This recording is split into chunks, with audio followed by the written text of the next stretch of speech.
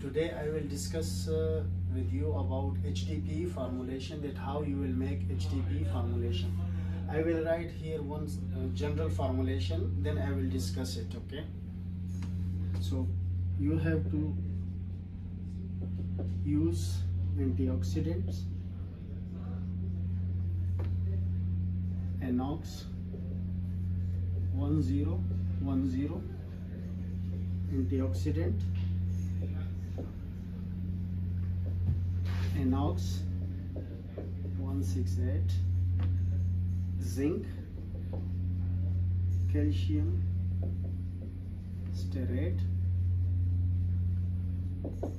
waxes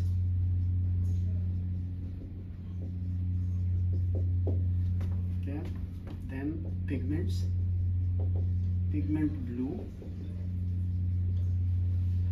15 1 pigment blue 15 3 LDP MFI 2 polymer LLDP MFI 20 to 50 okay? So you will use it 0 0.1 it is the standard okay? 0 0.1 1 let's 10 let's say the pigments here I'm using general okay? So you can use any concentration.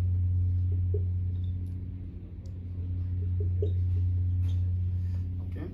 Now you have to calculate this uh, polymer combination you have to check the customer specification what the customer is asking which MFI they are looking for.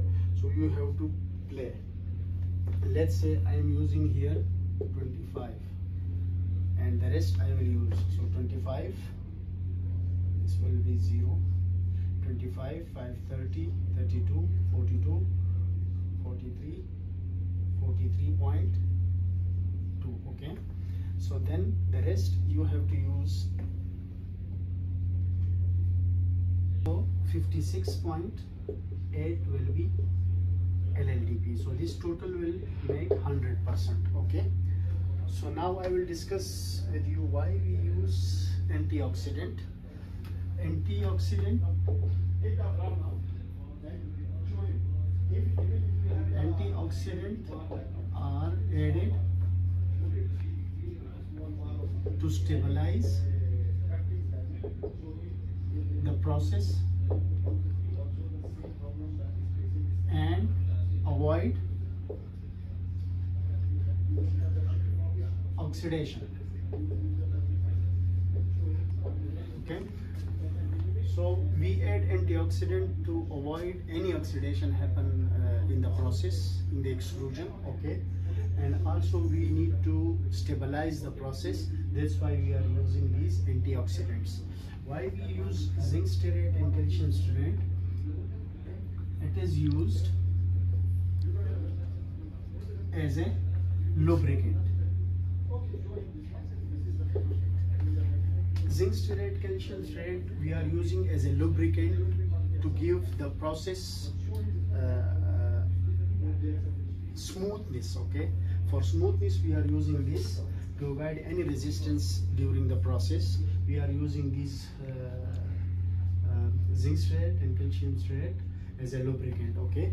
And wax we are using wax because uh, customer they need high dispersion. If you are not using wax your product will not be mixed well in the extrusion. And what will happen? Your product will have bad dispersion which will in turns the end product will be damaged. Especially the film application they need very high dispersion okay? So for good dispersion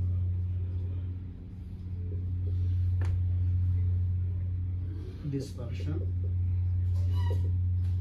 we add waxes okay? Now why why i use here the polymer combination? It's because of mfi because when you are receiving from customer different products you will have different applications okay?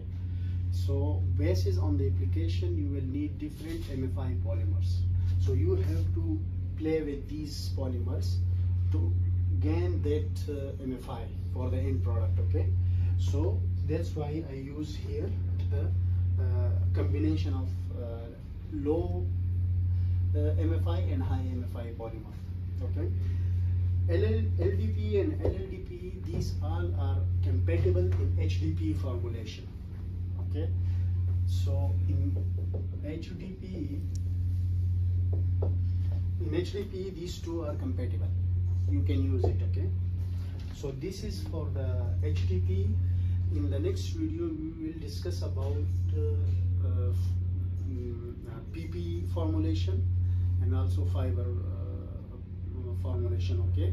So until that goodbye and uh, practice on these formulation okay? Just use pigments of your required color and concentration okay? You can play with the pigments as well. Thank you